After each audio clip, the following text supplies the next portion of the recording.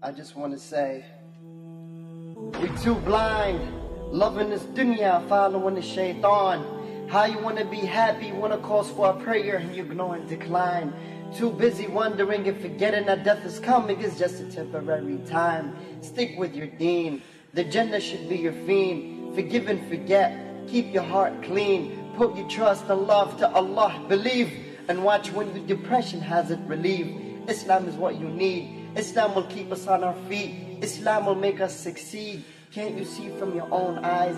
Can't you see this life is full of lies? Analyze. Don't make this world make you paralyzed. Wake up, choose paradise. We not here to play. We here to pray five times a day. By Allah, we here to listen and obey. Joy will come if we follow everything He say. So do good, cause in the end, only your deeds will pay. Salam.